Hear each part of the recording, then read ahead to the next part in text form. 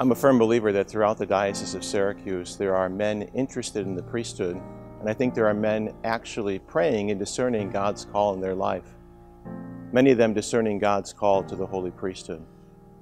As priests and lay people, we're called to look around and to see who might be the best candidate to study for the priesthood. So, what are the things that you might look for in a candidate studying for the priesthood?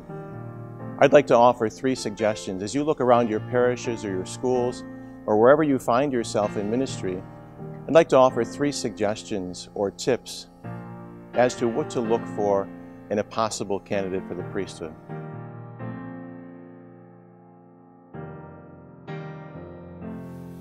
So the first thing is to look for a man of prayer. Is this somebody you see spending time in prayer? Is this somebody you see cultivating a relationship with Jesus Christ? You see them at Mass. Maybe it's daily Mass. Maybe it's at weekend Mass.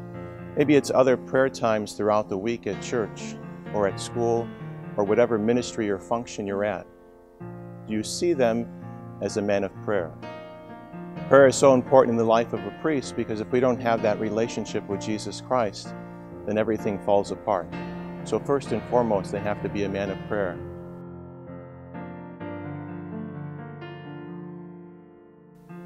The second thing I would recommend is it be a man of humility.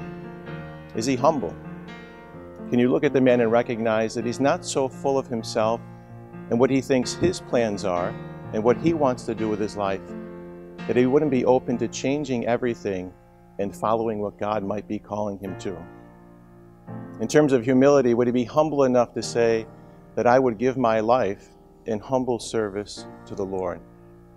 So I think humility is one aspect that we need to look at as well.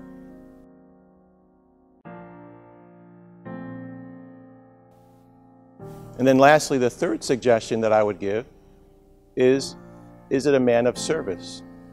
So when you see a possible candidate for the priesthood, is it somebody who's willing to give himself in generous service to the church, to God, to others? Is it somebody who's already serving in the church? Somebody who's already serving in any kind of ministry, whatever it might be, and you see them doing that on a regular basis. They're committed to it. They're part of it. They invest themselves in it. So I would just offer those three simple suggestions. When you're looking at possible candidates for the priesthood, is it somebody who prays? Is it somebody who practices that virtue of humility?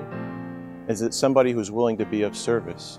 Because, in a sense, those are the three hallmarks of the priestly life prayer, humility, and service.